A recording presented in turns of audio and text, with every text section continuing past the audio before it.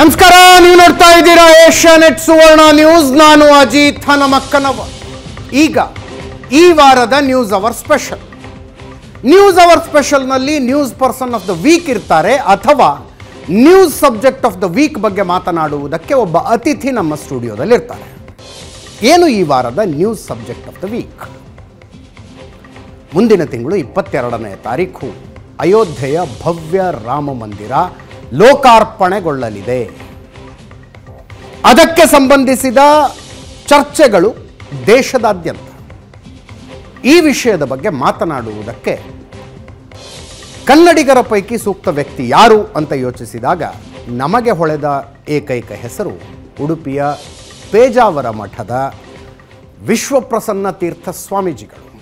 ಅವರು ರಾಮ ಜನ್ಮಭೂಮಿ ಕ್ಷೇತ್ರ ಶ್ರೀ ಕ್ಷೇತ್ರ ಟ್ರಸ್ಟ್ನ ಟ್ರಸ್ಟಿ ಕೂಡ ಆಗಿದ್ದಾರೆ. ಸ್ವತಃ ಸ್ವಾಮೀಜಿಗಳು ನಮ್ಮ ಸ್ಟುಡಿಯೋದಲ್ಲಿದ್ದಾರೆ. ಸ್ವಾಮೀಜಿಗಳ ಕಾರ್ಯಕ್ರಮಕ್ಕೆ ಸ್ವಾಗತ ತಮಗೆ. ಅವ್ರನ್ನ ಪ್ರಶ್ನೆ ಮಾಡುವುದಕ್ಕೆ ಬೇರೆ ಬೇರೆ ಸಿದ್ಧಾಂತಗಳು, ಪಕ್ಷಗಳಿಂದ ಅನೇಕರಿದ್ದೀರಿ ನಿಮ್ಮೆಲ್ಲರೂ ಕೂಡ ಕಾರ್ಯಕ್ರಮಕ್ಕೆ ಸ್ವಾಗತ. ಸ್ವಾಮೀಜಿ, ಅಂತೂ ಇಂತೂ ಇಪ್ಪತ್ತೆರಡನೇ ತಾರೀಕು ರಾಮ ಮಂದಿರ ಲೋಕಾರ್ಪಣೆ. ಹೇಗೆ ನಡೀತಾ ಇದೆ ತಯಾರಿ?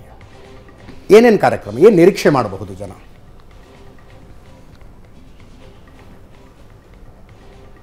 ಹದಿನೇಳನೇ ತಾರೀಕು.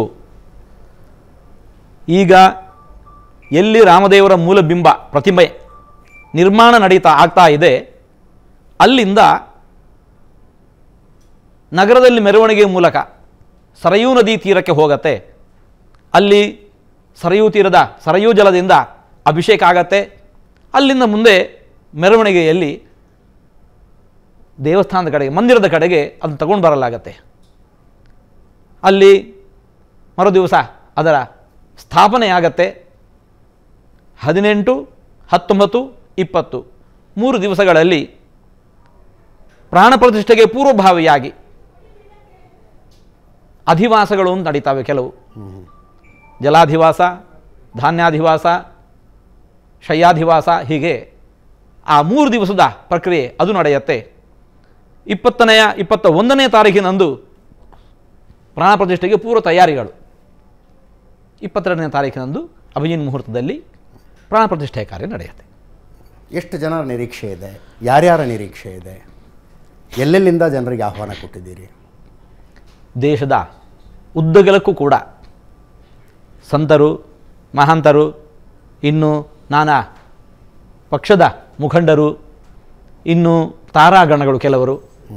ಹೀಗೆ ಎಲ್ಲ ಕ್ಷೇತ್ರಗಳಿಂದಲೂ ಕೂಡ ಮುಖಂಡರು ಅಂತ ಯಾರಿದ್ದಾರೆ ಅವರನ್ನು ಕರೆಯಲಾಗತ್ತೆ ಹೆಚ್ಚು ಮಂದಿಯನ್ನು ಕರೆಯಲಿಕ್ಕೆ ಆಗೋದಿಲ್ಲ.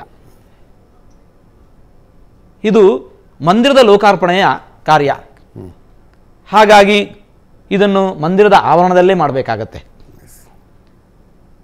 ಮಂದಿರ ಇನ್ನೂ ಪರಿಪೂರ್ಣವಾಗಿಲ್ಲ.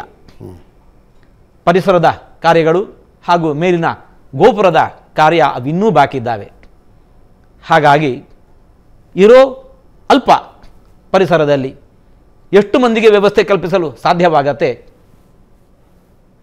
ಪ್ರಧಾನಮಂತ್ರಿಗಳವರು ಬರೋದರಿಂದಾಗಿ.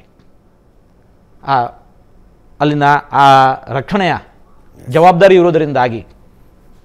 ಇದ್ದ ಸ್ಥಳದಲ್ಲಿ ಎಷ್ಟು ಮಂದಿಯನ್ನು ಕೂಡಿ ಹಾಕಲಿಕ್ಕೆ ಸಾಧ್ಯ ಆಗತ್ತೆ? ಸುಮಾರು ಆರು ಸಾವಿರ ಮಂದಿ. ಹಾಗಾಗಿ ಎಲ್ಲ ಪ್ರತಿನಿಧಿಗಳನ್ನು ಮಾತ್ರ ಆಯ್ಕೆ ಮಾಡಿ ಕರಿಬೇಕಾಗತ್ತೆ. ಆ ಕಾರ್ಯ ನಡೆದಿದೆ.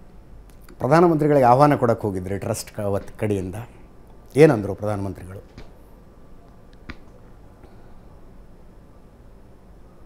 ಅವಶ್ಯವಾಗಿ ಇದನ್ನು ಸಂತೋಷದಿಂದ ಸ್ವಾಗತಿಸಿದ್ದಾರೆ. ಹಾಗೂ ಆ ದಿವಸ ಮಾಡಬೇಕಾದ ಕೆಲವು ಪೂರ್ವ ತಯಾರಿಗಳು.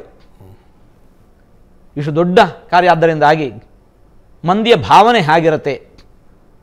ತಾವು ಬರಬೇಕು ನಾವು ಬರಬೇಕು ಅಂತ ಎಲ್ಲರೂ ಕೂಡ ಆಸಕ್ತಿ ಇರುತ್ತೆ ಉತ್ಸುಕತೆ ಇರುತ್ತೆ.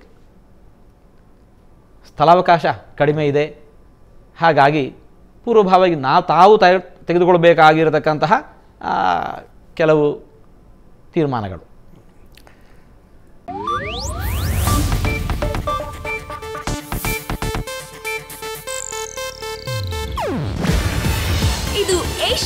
ನ್ಯೂಸ್ ನೆಟ್ವರ್ಕ್ ಪ್ರಸ್ತುತಿ. ನೀವು ನೋಡ್ತಿದ್ದೀರಾ ಏಷ್ಯಾ ನೆಟ್ ಸುವರ್ಣ ನ್ಯೂಸ್.